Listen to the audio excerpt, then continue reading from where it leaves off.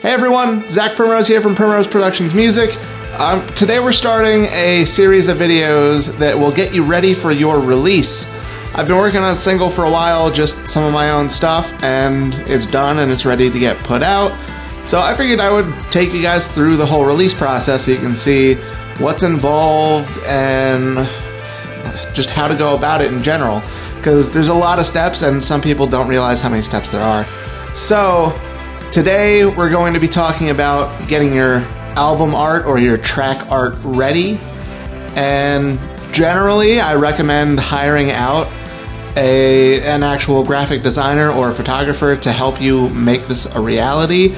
But if you're on a tight budget, if you just spent a lot doing your record and you don't really have enough money left over, I'm going to show you a couple of free pieces of software. They're not even software, they're websites. I'm going to show you some free websites that will help you get a pretty good quality overall album cover set up. And I decided for this one I was going to make mine pretty cheesy, really cliche. So, yeah, this is more about showing you the software than the quality of my actual album cover. But yeah, it, it's it's pretty cheesy. But anyway, let's jump right into that. Well, like I said, guys, we're going to be using some free applications today to make ourselves some single art. So the first one we have here is canva.com. It's a free graphic design kind of a thing. And you can see here, you can go to, they have a ton of different templates for different kinds of designs.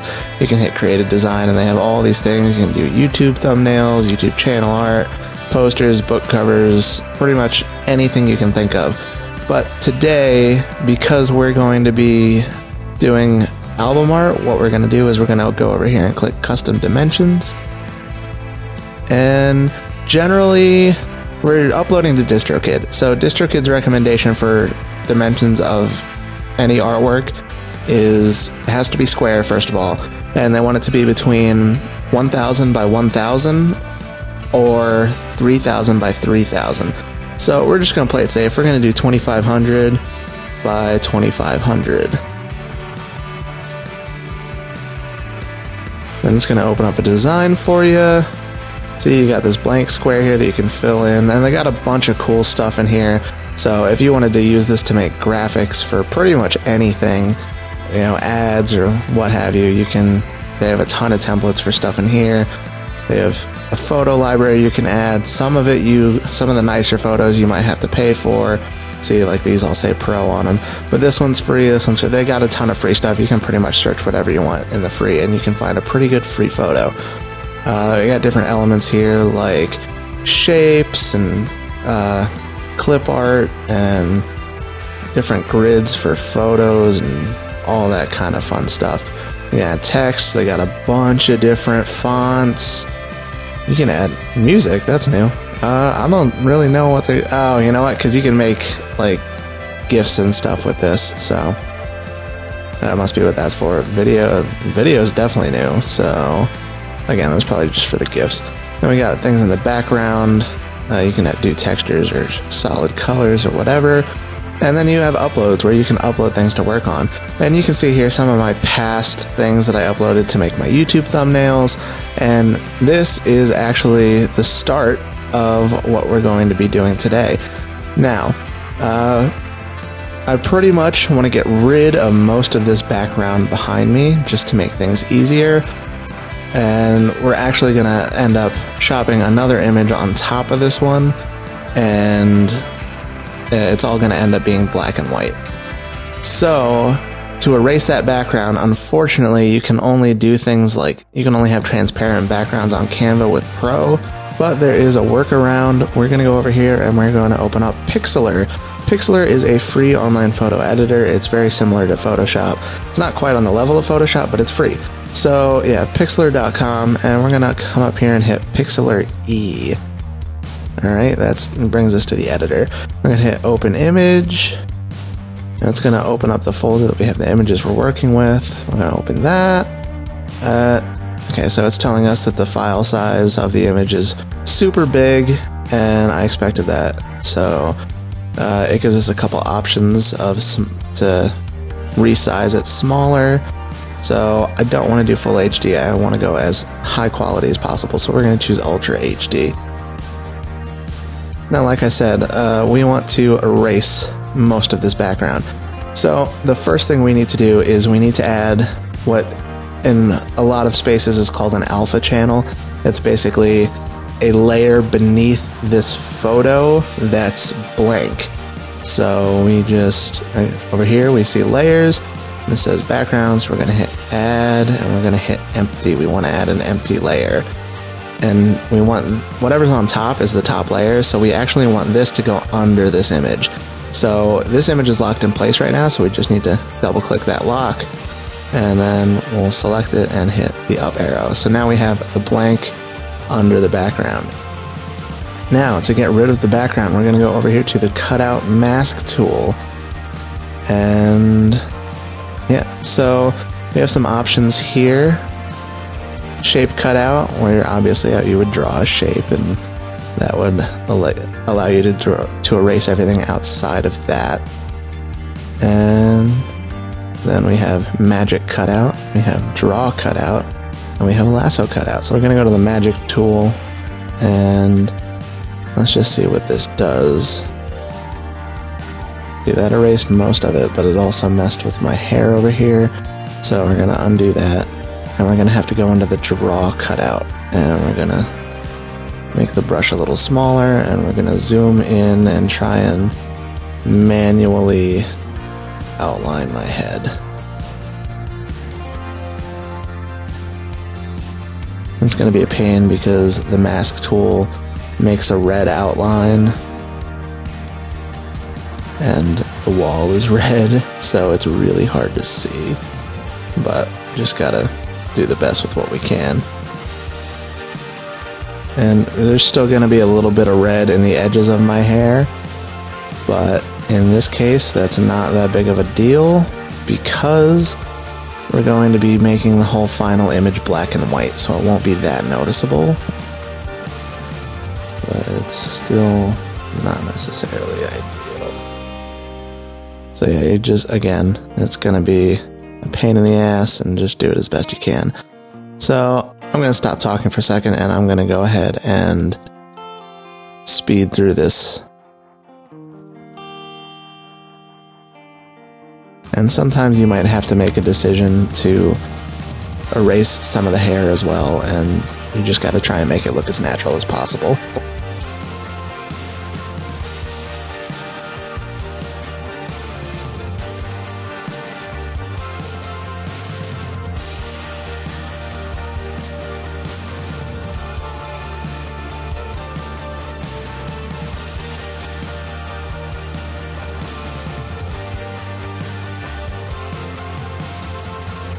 Alright, at this point it should be safe to use the magic cutout tool to get rid of the rest of this red. Still got a line there, we'll take care of that in a second. Yep, a couple little touch up spots, but not bad.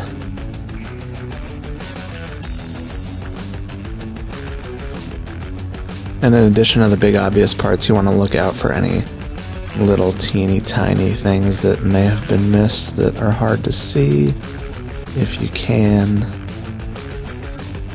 Obviously, they're hard to see, so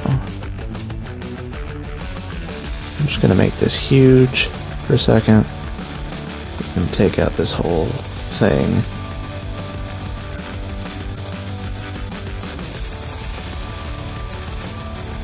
so that's probably mostly good enough, and then we're just gonna crop out these side parts here. This I think I'll actually use the shape cutout tool. Ta-da! Ooh, cutting that really close. And I still missed a spot up here. Yeah, so there's our first part. Oh, hang on. There's our first part. Like I said, we still got a little of the reddish tinge around the edge, but we're turning this whole thing black and white, so that shouldn't be an issue. So now we just need to export this. And it gives you the option to download, it gives you a file type choice. We need to choose PNG, that's really important, because if you don't choose PNG, then this erased background will just be a white background. We need it to actually have the alpha channel in it, so you need to do a PNG. download it right into the same folder that it came from. We'll call it Zach Alpha. Okay, so now for a second, let's go. Well, hang on, let's close this, close that. Let's go back to Canva. Now I want to drop in for the background. I just want a plain color, so we're just gonna do that. Okay, plain black. Like I said, it's gonna be black and white. And we're gonna go to uploads, and we're gonna upload the alpha version. See, it looks like a white background, but when we actually drop it in, it will be transparent. See, it's transparent right there. We did it. I'm just gonna drag it and drop it in. There, see? And we're gonna make it bigger. I want to be huge, gigantic. I want to look like God. I'm just kidding. I don't know, I'm wondering if we should change the background now. Maybe, maybe there's some kind of a fire or something? Okay, what, what, what the hell's going on with that? Alright, it's not going to let us add any more background because we already made the basic background, but that's fine. You know what? Here, we'll just, let's just undo this and drop in. I don't know, I like these texture backgrounds. The question is, which one should we use? See, it's extra hard to pick because these are in color, and the final version is going to be black and white. So, picking one of these that will also look good in black and white is the rough part. Okay, let's go with space. Space it is. Perfect. For the hell of it, let's go to the filters, see what that's going to look like in the black and white. Yeah, sure, that'll look fine. Okay, then we'll go back to the uploads tab, drop me back in, make me gigantic. Oh no, is that too big? You guys think that's too big? Yeah, yeah, it's too big. It's not really. That's probably more like it. Alright, now we're going to go back over to Pixlr and let's go new image, open image, and we're going to open up Dave here. Let's see, Ultra HD. Hello, Dave. Alright, so let's start off. Yeah, we're going to have to mask with manually again which is fine. It's just a little time consuming. So I'm just gonna rush through. You guys have already seen me do the basics of this, so. Oh, hey, I forgot to add another layer under him. My bad. Empty. Yes, please. Unlock. Just gonna do the heavy lifting first and then go in for the smaller details.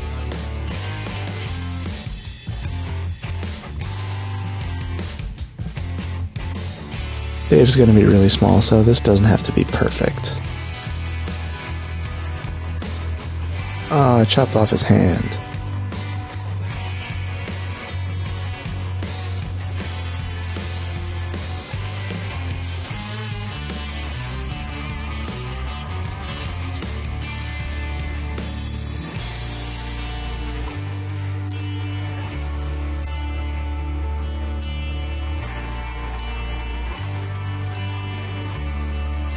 That's okay, I just chopped off half his hand. No big deal. He doesn't need both hands. He's a singer, guys, come on.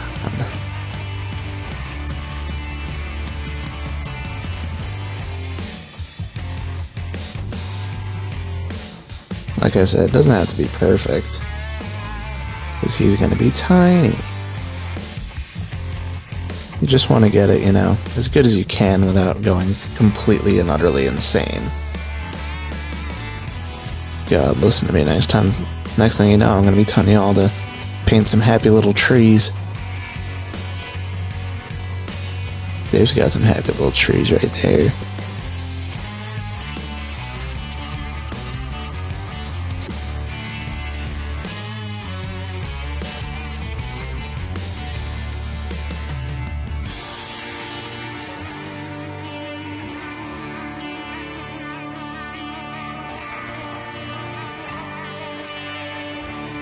Alright, and let's just try to shape out most of the rest.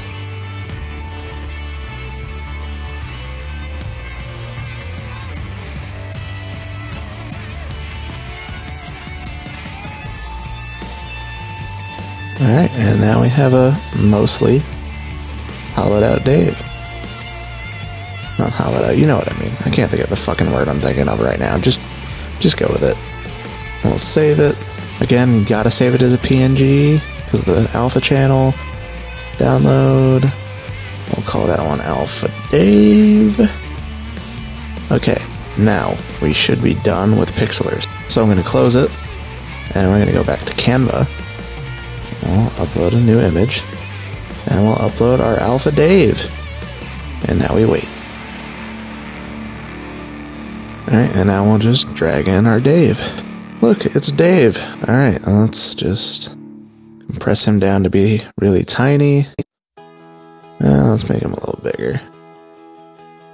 I told him when I did when I decided on all this that it was gonna look fucking ridiculous.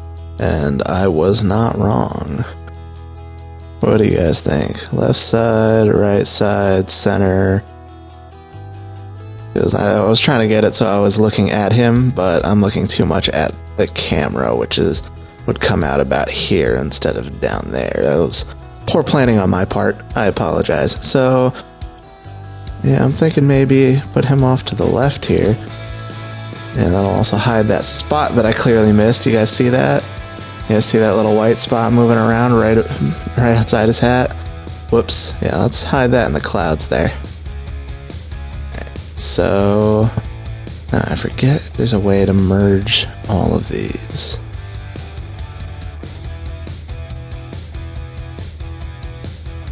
Yeah, I don't think there's any way for me to.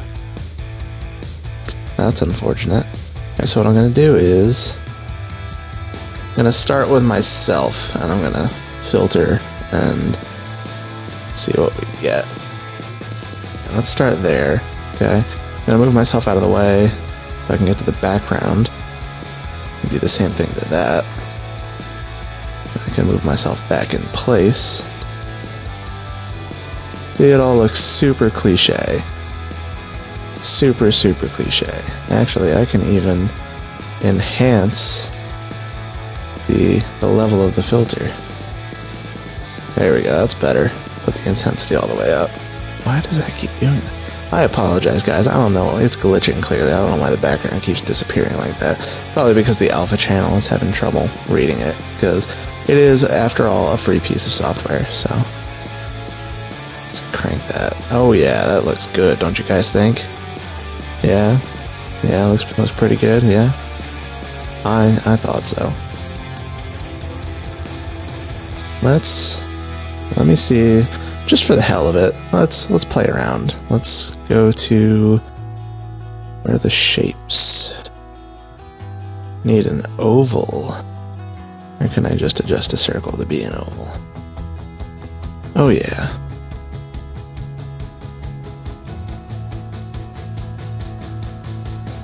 See what that looks like zoomed out. That looks fucking dumb. Alright, we're gonna just get rid of that. So now we got the basis of a cover. I kinda wanna I wanna dull it all, so I'm actually gonna drop in a square, put that just over the whole thing. Get to 10%. I wanna get that a little bigger than anyway, just in case. Okay, then we're just gonna turn the transparency all the way down and bring it up till I think it's where it needs to be. Thinking right about there. Yeah, okay, and then we're just gonna drop in some text. And the track is called My Own. I can spell. And I really like this font, Abyss. I've been using that for pretty much everything that I've been doing recently. I've been using that font. So let's switch it to that. Now we just got to figure out where we want to put it. Uh, Oh no, there's no really good place to put it. Let's just put it there. And it looks a little blurry now, but when it bounces out, it won't be. I'll slap the actual final product up on the screen here in the video so you can see that it doesn't look blurry. And then we gotta add a subheading featuring Dave Swillam. Oh, I can spell his name. Swillam. Okay, and then we're gonna change that font as well. And we want his name to be lined up. So we're gonna put an enter there. And then we're gonna make this a lot smaller so it fits under the song title. Actually, yeah, no, we're not gonna put it under the song title. We're gonna